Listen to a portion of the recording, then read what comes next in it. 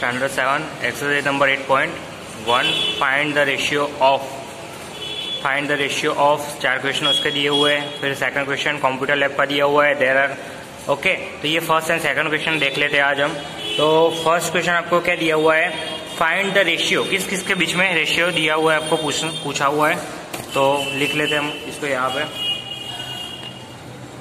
ए किस, किन दोनों के बीच में? तो पाँच रुपीस एंड फिफ्ट हंड्रेड पैसे। दोनों के बीच में हमको रेशियो बताना है।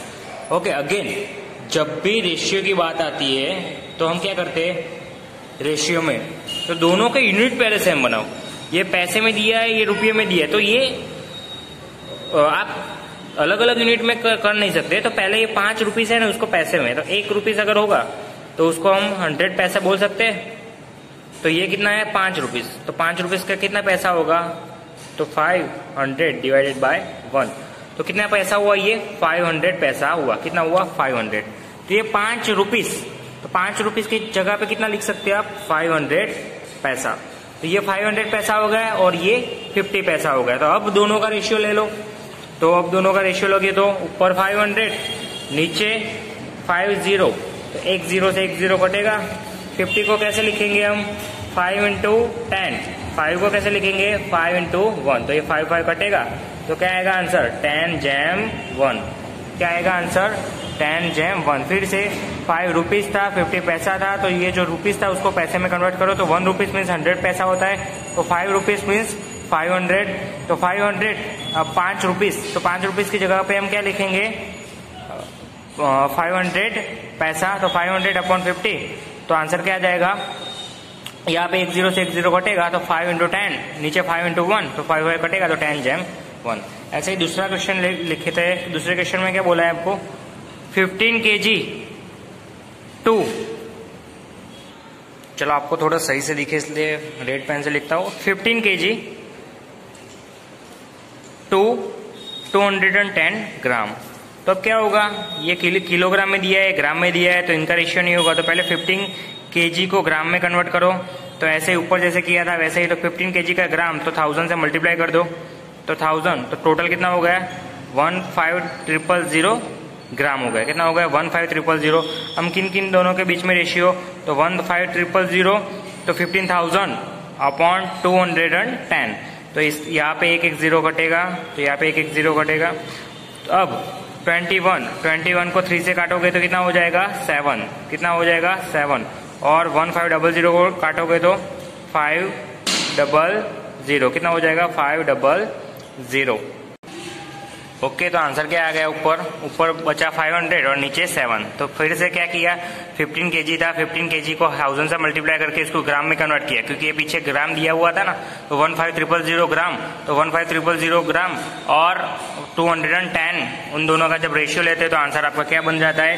500 जैम सेवन क्या आंसर बन जाता है? 500 जैम सेवन अब थर्ड क्वेश्चन नाइन मीटर से ट्वेंटी सेंटीमीटर का रेशियो तो अगेन सेंटीमीटर, ये मीटर। तो इसको पहले किसमें कन्वर्ट करो? मीटर को सेंटीमीटर। तो मीटर में मीटर को सेंटीमीटर में कन्वर्ट करेंगे तो नाइन का क्या हो जाएगा? नाइन जो मीटर है, उसको सेंटीमीटर में कन्वर्ट करोगे तो नाइन मीटर क्या हो जाएगा? नाइन हंड्रेड क्या हो जाएगा? नाइन हंड्रेड सेंटीमीटर ऊपर हो जाएगा। और नीचे क्या है?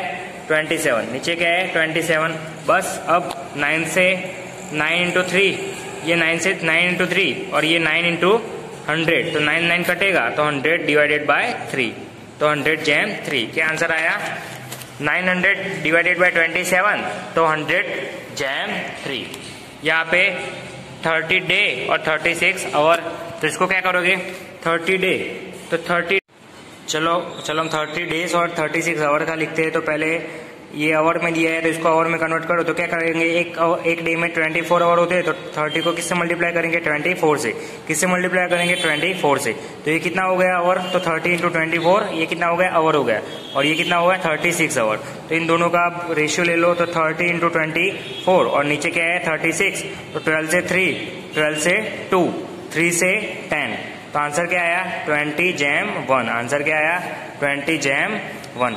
अब हम उसके नीचे वाला देख लेते कि in computer lab there are three computer for every six student तो क्या है? थ्री कंप्यूटर है किसके लिए? छह स्टूडेंट के लिए। तो how many computer will be needed for twenty four students okay तो हम ऐसे लिखेंगे, यहाँ पे इस साइड पे कंप्यूटर और यहाँ पे स्टूडेंट्स ओके तो कंप्यूटर कितने हैं यहाँ पे पहले? तीन। तो तीन के लिए स्टूडेंट कितने थे? सिक्स और वैसे ही, कितने हुए अभी? ट्वेंटी फोर स्टूडेंट है। तो कितने कंप्यूटर आपको चाहिए? अब हम इसको रेशियो से ले जाते हैं। रेशियो अब हम इसको रेशियो से ले जाते हैं। तो रेशियो में कैसे रेशियो लिखेंगे हम। तो देखो, यहाँ पे हमने उल्टा लिखा है। ये 24 कंप्यूटर नहीं कंप्यूटर तो हमको फाइंड करना है। ये किसकी वैल्यू दी है? 24 फोर वैल्यू दी अभी क्या है, देखो रेशियो रेशियो में कैसे जाएँगे तो ऐसे ही एक साइड पे कंप्यूटर लिखो और एक साइड पे स्टूडेंट्स लिखो। ओके तो ऐसे रेशियो में तो क्या करेंगे?